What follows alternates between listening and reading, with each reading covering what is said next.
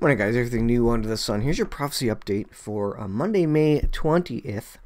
It appears as if we are on the brink of war with Iran, and uh, this uh, includes Israel and the United States. There's several things going on here. We have citizens being evacuated. We have um, the U.S. Um, looking to um, possibly get 120,000 troops in Iraq. We have some um, strikes near the U.S. Embassy in uh, Iraq. and we have this peace plan coming up, which uh, is supposed to be coming up, and we're counting by weeks now. And um, you know um, that I believe that there needs to be significant tension, even military escalation, um, if anybody is to implement a peace deal. What do we see um, rising up uh, related to Iran? It's just that. And uh, it appears that we're on the brink uh, of war.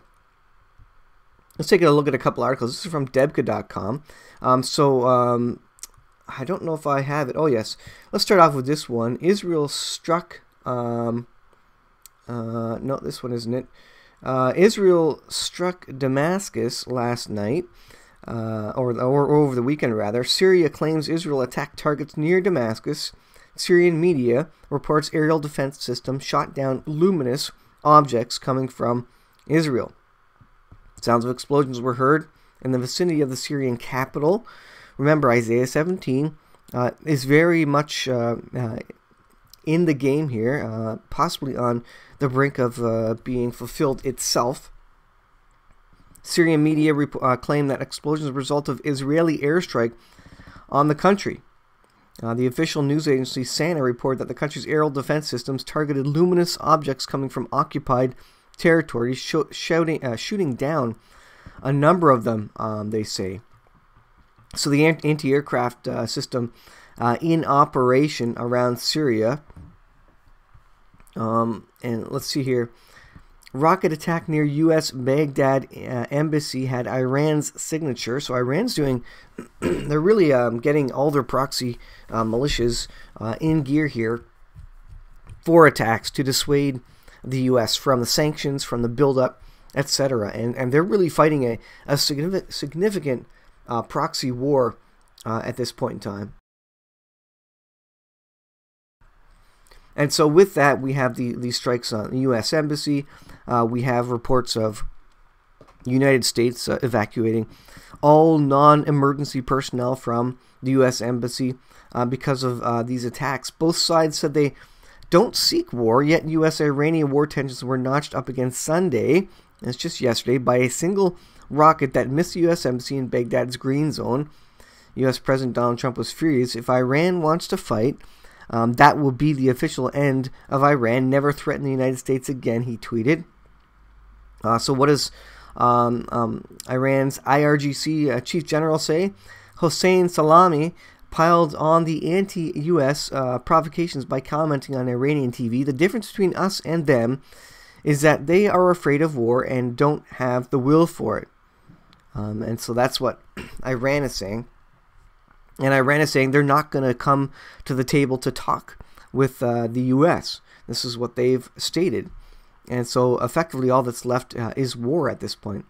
Um, Iran is directly involved in the sabotage on the tankers. Iran precisely calculated sabotage attacks on the four tankers to fall short of sinking them or causing casualties. It likewise computed the drone attacks to damage without destroying Saudi pumping stations in the same way the Katyusha rocket launched against Baghdad's fortified uh, green zone Sunday uh, night had a, uh, had a shock effect without causing real harm. This is a plausible deniability for Iran, and also not big enough strikes um, that it would uh, prompt all out war. Um, Iran doesn't want to do that. They just want to annoy uh, the U.S. enough that our U.S. kind of backs off at this point in time. They don't think the U.S. really wants to go to war, and I'm sure the U.S. doesn't really want to go to war.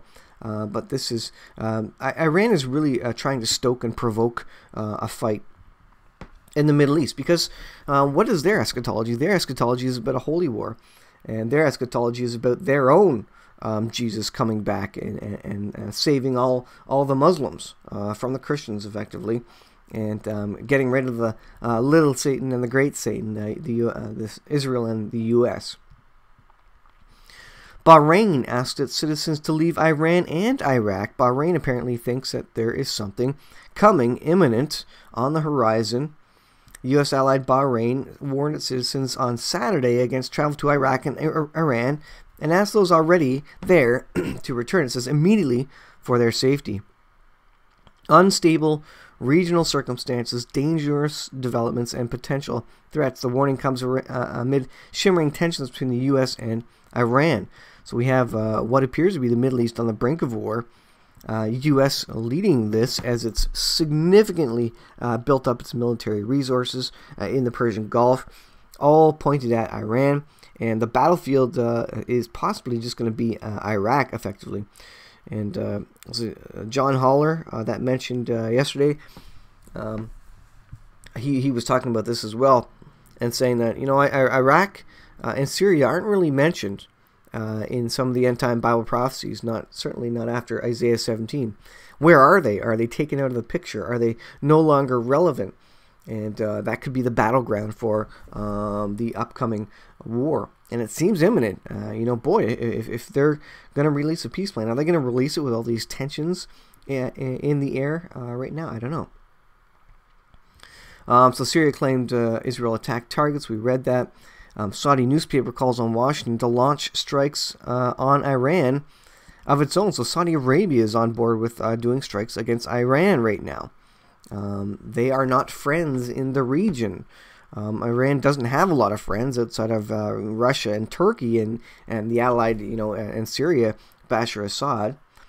A state-aligned uh, Saudi newspaper has called for surgical U.S. strikes in retaliation for alleged threats from Iran. So you have these countries in the Middle East calling, not only uh, threatening, but calling for strikes um, on uh, Iran. Uh, it says the editorial said U.S. strike in Syria when the government was suspected of using chemical weapons against uh, civilians set a precedent. So now the U.S. effectively they're saying have to has to go into uh, Iran. It added that it's clear that U.S. sanctions are not sending the right message and that they uh, they must hit hard in reference to Iran, with elabor- without elaborating on uh, what specific targets should be struck. So Saudi Arabia is on board. Saudi Arabia is counseling effectively um, Trump to uh, strike Iran, and, you have a huge buildup there. Is that buildup going to uh, decrease all of a sudden? Are they all of a sudden just going to go back to their uh, home ports? Um, you know, prior to the release of the peace plan. Uh, what is the relation there? Is there a significant strike or war, which really prompts them and causes the people of, of uh, the Middle East to say, you know what, we do need peace. And you can see exactly why an Antichrist figure will come in and say, um, and really push this peace plan forward, thinking that if they can make peace with Israel and the Palestinians, uh, maybe they can make uh, peace in the rest of the world and in the Middle East. And that's what the whole world uh, wants. They want peace, peace. So you have all these things happening. You have uh, the Middle East again uh, and I think it's correct to say, on the brink of war. What else would you call it? With all the weaponry in the area, with Iran uh, using its proxies to strike U.S. Uh, uh, targets. And uh, when, do, when does the U.S. strike back and, and target some Iranian assets? And, and honestly, I, I, I would not be surprised at all if over the next week or so we see some um, strikes in Iran uh, in retaliation uh, for the, some of these, and especially if they hit and, and kill U.S. soldiers. Um, I mean, that would be it. Um, that that would absolutely be crossing the red line. So, um, in terms of Bible prophecy, I think this happens prior to um, the revealing of the peace plan. I think there's some significant escalation. Maybe it's enough to worry uh, about the the buildup and the war there, but I think something else breaks out. Uh, I think I think Iran makes a move and uh, something happens there. Uh, regardless, I think uh, you look at the prophecies, Isaiah 17, Ezekiel 38, uh, maybe, uh, I think uh, whatever corner Israel is pushed into that causes Isaiah 17 is the corner that Russia, Gog Magog, Iran uses as an excuse to march against Israel. And so I'm not sure what that corner is right now, but it could be retaliation that Iran has been saying that they would go after uh, Israeli allies in the region. That means Israel.